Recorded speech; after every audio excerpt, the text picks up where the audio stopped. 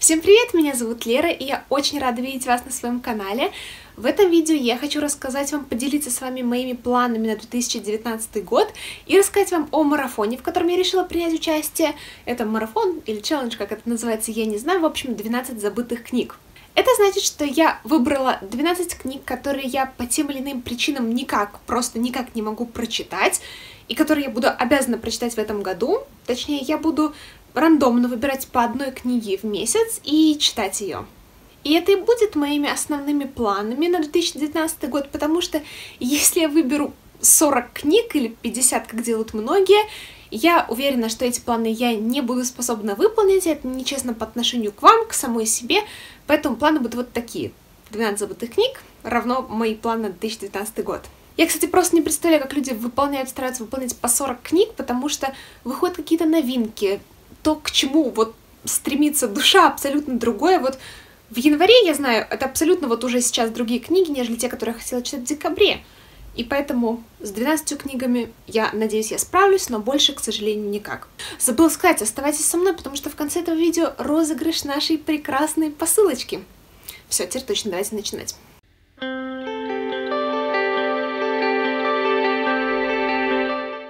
Итак, начнем с самого верха. Итак, тут у нас Чарльз Диккенс и его «Большие надежды». Uh, у Чарльза Диккенса я читала Дэвида Копперфильда, и помню, он мне безумно понравился, но дальше у меня с этим автором дело не пошло. К сожалению, эта книга лежит достаточно давно, я ее купила для того, чтобы простимулировать себя прочитать эту работу, но, как видите, стимул прошел неудачно, потому что сверху я еще купила еще 200 книг и, в общем, затерялась. А, это английская, такая, наверное, больше семейная сага, история о молодом человеке, который, а, опекун которого оказывается не тем, за кого себя выдает. Тут и преступление, и детектив, и семейная сага. А, одна из самых, наверное, значительных работ Чарльза Диккенса, если не самая значимая, поэтому я просто хочу ее очень прочитать, тем более не такая объемная, как многие книги в моем плане. Поэтому я не знаю, что меня останавливает, не объем точно. Классики я не боюсь, Чарльза Диккенса я люблю, поэтому неизвестно почему, но эта книга давно в забытых, давно в тех, которые я не могу прочитать, и я ее выбрала естественно. Вторая книга, не знаю, как они по порядку лежат у меня второй том графа Монте-Кристо. Тут вообще все очень странно, потому что я прочитала первый том, он мне безумно понравился. Почему я не могу никак начать читать вторую часть, я не представляю. Знаете, немножечко таки представляю, я накупила новых книг, выходят опять же новинки. У меня сейчас другая вообще атмосфера в голове, книг, которые я хочу прочитать, другие мысли.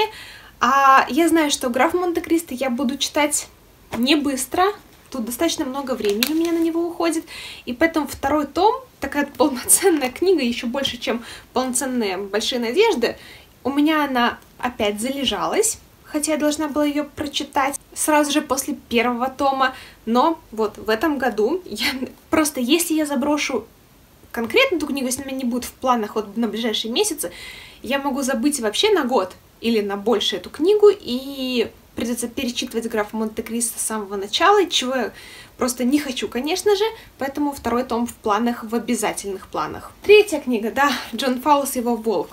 А, Джона Фауза мы читали в университете на программе по постмодернизму. Это один из, наверное, ярких, ярчайших постмодернистов.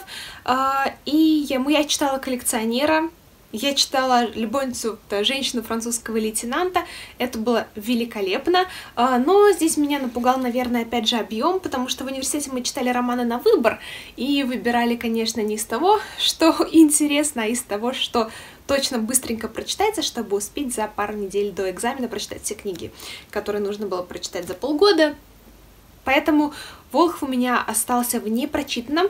Это, кстати, по описанию и по отзывам безумно интересный роман о загадочной магии, которая живет на загадочном острове и ставит психологические опыты на людях, испытывая их такими средствами, как страсть и небытие что бы это ни значило.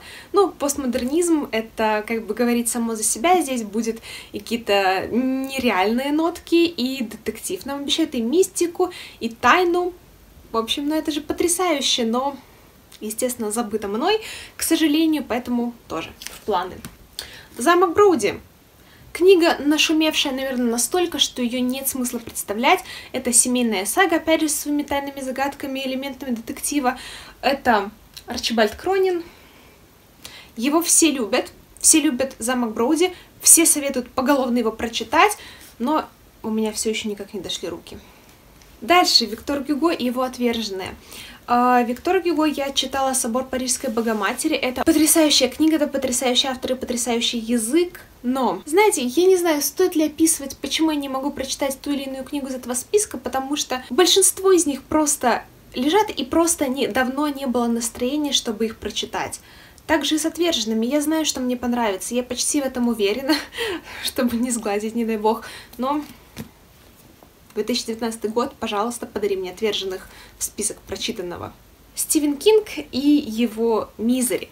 А, я, в принципе, хочу начать знакомство такое полноценное со Стивеном Кингом, и начать я хотела либо с, игрой, с игры Джералда, либо с Мизери. Игру Джералда я начинала читать, но почему-то самое начало мне не очень понравилось, я его забросила, и сейчас, когда решила возобновить знакомство, я поняла, что к игре Джералда у меня руки вообще не тянутся, поэтому выбрала Мизери. А, я читала, я, кстати, забыла сказать о том, что я читала его еще и «Сияние», помимо «Оно» и «Кэрри». И «Сияние» мне как раз-таки понравилось меньше всего. Хочу посмотреть фильм и оценить художественную, кинематографическую версию, потому что уверена, что она будет сильнее. «Сияние» меня, ну, вообще не впечатлило, поэтому надеюсь на «Мизери» и надеюсь, что мое новое знакомство с Кингом пройдет успешно. Город мечтающих книг. Эта книга — это вообще отдельный разговор, она у меня забыта по вполне объяснимым причинам, о которых я вам сейчас расскажу. В общем, я повелась на обложку, которая такая книжная, такая в коричнево-рыжих тонах, очень приятная. Описание великолепное. А, юный писатель наследует безупречную рукопись, тайну которой он мечтает разгадать. След ведет его в книгород, город мечтающих книг. Оформление книги просто божественное, я его просто так пролистала. Форзацы такие безумно книжные. Иллюстрации тоже книжные. Я поняла, что здесь будет, конечно, элементом фантастики, что-то мрачное. Но по отзывам все в таком восторге. Такой шикарный рейтинг у этой книги. Я естественно, купила. Но потом, открыв и начать читать, я поняла, что наш юный писатель, главный герой — это дракон. И как бы... Я не знаю, как вам объяснить, но я не люблю такие книги. Я ненавижу просто, когда главными героями выступают драконы, мифические существа, животные, не дай бог. Для меня это просто, ну, катастрофа. Это еще хуже, чем когда главные герои дети. Ну, почему я как бы не могу читать, начать читать Локвуда, потому что ну, не могу, не люблю я, когда главные герои дети, а тем более драконы. Но меня это к этой книге перестало тянуть вообще, но я должна это сделать. Мне жалко того, что я действительно, ну, я купила эту книгу, она лежит у меня на полочках, такая вся очаровательная. Мне жалко уже дракона, из-за которого я не могу начать читать эту книгу. В общем, мне все грустно. А еще все такие хорошие отзывы, думаю, ну все-таки я обязана попробовать. Мало ли, случится что-то нереальное, и я буду читать теперь только искать драконов в качестве главных героев, поэтому, ну, мне просто жалко всего, поэтому книга в планах. Дальше, Кавка, процесс. Э, процесс Кавки часто сравнивают с приглашением на казнь Набокова. Набокова я безумно люблю, настолько же, насколько я не понимаю Кавку поэтому именно выбрала процесс. Я у Кавки читала «Замок» и «Превращение». Если с «Превращением» я еще как-то могла смириться, я видела эм, смысл, я видела замысел, я видела великолепный талант автора, художественный талант, писательский талант, то в «Замке» замок привел меня просто в полнейшее недоумение. Мы разбирали в университете Кавку, я понимала суть, это одиночество и все такое прочее, ну, в принципе, как и все философы стиля Кавки, но я не поняла замок. Я просто не смогла его понять, как я не пыталась. Мне он не понравился, и поэтому у меня было просто очень сильное отторжение ко всем его произведениям, но процессу отзывы очень теплые, я решила дать еще один шанс, потому что Кавка, ну, априори не может быть плохим, не может не нравиться прям вообще, поэтому решила найти что-нибудь для себя, ну, Нельзя не быть знакомым с Кавкой, я так считаю. Ну, лично я считаю, что я не могу не познакомиться с еще одной книгой, и выбор пал на процесс. Если не понравится процесс, то, наверное, на этом знакомство остановится. Следующий роман — это Вальтер Скотт и его Айвенга. Я походила по букинистическим магазинам и нашла вот это прекрасное, это, скажем так, просто издание, которое стоит, наверное, на полках каждой из наших бабушек, но мы считается уже букинистическим. И оно напомнило мне безумное издание, которое мы брали в университетской библиотеке. Они выглядели именно так. У меня проснулась еще больше ностальгия. А, чем меня этот роман отпугивал очень давно, это тем, что это исторический рыцарский роман, написанный достаточно давно, и тем, что у нас все, кто читал его в университете, были просто недовольны, кроме одной девушки, которая была в восторге, и вот на нее одну у меня надежда, что у нас совпадут вкусы, и мне понравится Эвенга, потому что говорят, что это очень тяжелый роман, насыщенный какими-то историческими терминами, э, событиями, без такой особо сильной художественной подоплеки, поэтому я его боюсь. Я его страшно боюсь, но буду пересиливать себя и читать. Знаете, вот из-за таких романов у меня и только 12 книг в планах, потому что, думаю, Залпом я просто так за пару дней эту книгу, конечно же, не прочту, и она меня затянется. Эвенга. Боже, а так еще это издание пахнет. Я обожаю этот запах книг, который, знаете, ну, типичный запах книг, старых книг из библиотеки, но это один из лучших запахов в мире. Божественно. Книжный вор. Я в «Книжном воре» слышала столько всего хорошего, что просто перехотела его читать. Как бы странно это ни звучало. Та же самая ситуация у меня с Гарри Поттером. Его столько много на Ютубе, в Инстаграме, вообще во всех блогах, что я уже просто не могу слышать о Гарри Поттере и тем более его читать. Поэтому похожая ситуация с книжным вором, но все-таки к книжному вору у меня сердце склоняется сильнее, тем более это издание это билингвистическое издание, здесь одна страничка на английском и одна на русском. Поэтому как бы это шанс не только познакомиться с книжным вором, но и потянуть свой английский. Надо улучшать свой словарный запас и не забрасывать. Книжный вор тоже не нуждается в представлении прекрасный Умберто Эко и его имя Розы, с которым я тоже никак не могу познакомиться. Во-первых, потому что это очень жирненькая книга, а у меня терпения не хватает. В последнее время на такие огромные романы, потому что я бросаюсь просто с одного на другое, я не успеваю закончить одну книгу, мне уже безумно тянет к другой, к другой тематике, я так вот перескакиваю, вот. Закладочка даже есть на 109 странице. Примерно столько меня хватило, прежде чем перескочить, перескочить на новую книгу. А, здесь рассказывается о монастыре, в котором происходит убийство, которые э, воспроизводят с собой вестники апокалипсиса. И сыщик с его юным помощником отправляются в этот монастырь, чтобы расследовать преступления. Здесь и история средневековья, и различные религиозные конфликты, и детективная линия, и прекраснейший язык Умберта Эко, который я торжественно обязуюсь прочитать в этом году. У меня тут горочка развалилась, но я поэтому просто уже не очень прилично лежат книги.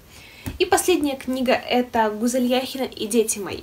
Здесь рассказывается о русском немце, который живет в Поволжье, пишет сказки для своей дочки, и эти сказки каким-то магическим образом притворяются в жизнь.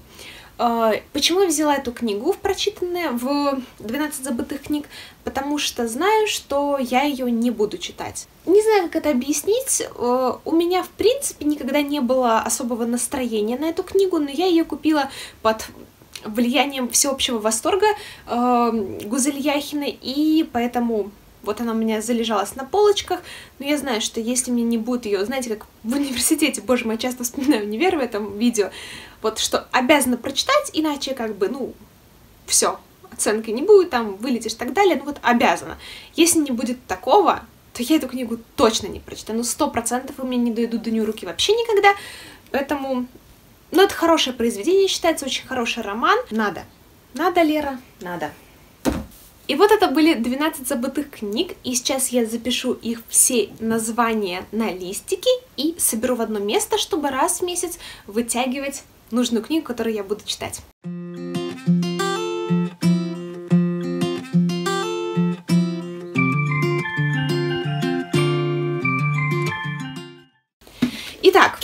я написала все названия и положила их в такую маленькую баночку, неизвестно зачем такое пространство для таких листиков. Но мне будет удобно доставать через такую дырочку. Поэтому сейчас мы с вами выберем первую книгу, которую я буду должна прочитать в январе. И что же это будет? Вот просто мешаю, мешаю. И первая попавшаяся, э, вот, две, одна упала, ну вот это будем читать. И это «Имя Розы». Так, сразу же с тяжелой артиллерии. Так, «Имя Розы» выбрасываем из списка. Сейчас заберем сюда обратно, вот ставлю на полочку и буду в январе читать имя Розы. Как, как, чтобы это не затянулось на весь месяц. Кстати, я уже прочитала за январь. Раз, два, три, четвертую книгу дочитываю, поэтому, возможно, в январе будет только пять прочитанных. Итак, это были мои планы на 2019 год и 12 забытых книг. Одну книгу мы уже выбрали, это «Счастье». И давайте переходить к самому приятному, к розыгрышам. Итак, чтобы напомнить вам, как выглядит эта коробочка, здесь две книги, два блокнотика, чье конфетки, антистресс, и там где-то внизу еще две классненьких ручки таких. И сейчас давайте же посмотрим, кто же выиграл.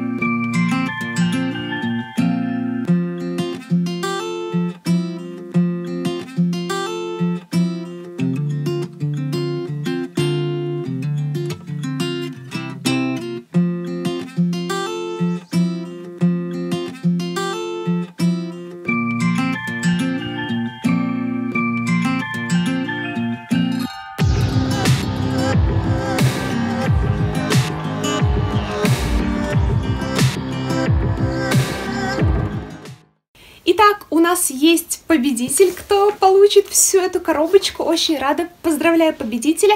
Я, наверное, проще всего будет, если напишу тебе ВКонтакте сама и спрошу твой адрес. Все. Спасибо всем огромное за участие. Еще раз поздравляю победителя. Спасибо за то, что посмотрели это видео, что остаетесь со мной. И до скорых встреч. Всем пока!